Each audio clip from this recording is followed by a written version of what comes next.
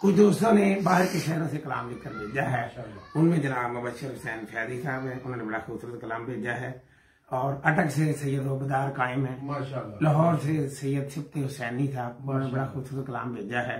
उनके साथ साथ जड़ा वाला से इरफान अली इरफान साहब ने अच्छा कलाम लिखकर भेजा है। मैं उन सब दोस्तों का शुक्रगुजार हूँ और अनायत अली अनायत साहब ने भी कलाम भेजा है। तो मैं कोशिश कर रहा हूँ कि उनमें से ना कलाम एक दो पढ़ दिए जाए ताकि सबके हारे लग जाए। जी सर।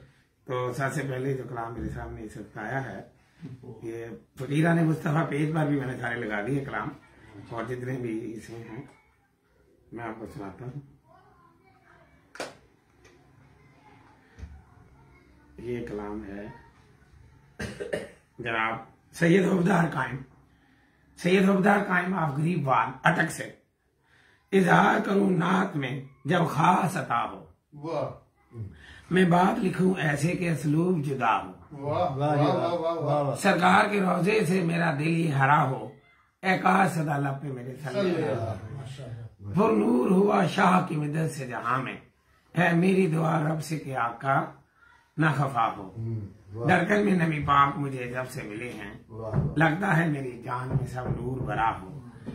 जब नात मेरी पढ़ ले कोई शख्स वहाँ पर ए काश न उस जैसी मदीने में सदा हो। वो कैसे भटक सकता है अंधेरे जहाँ में जो शख्स बार मदीने से हुआ हो? वो कैसे भटक सकता है अंधेरे जहाँ में जो शख्स बार मदीने में हुआ हो? भरपूर महक खेज वही होती है कायम जो आपके तैबा में खिली गुली पाक सबा हो। जो आपके तैबा में गुली पाक सबा हो इजहार करूँ नात में जब खास अता हो मैं बात लिखूं ऐसे के असलूब जुदा सैयद हुबदार कायम का कलाम था दो सौ बतालीस महानाम शहर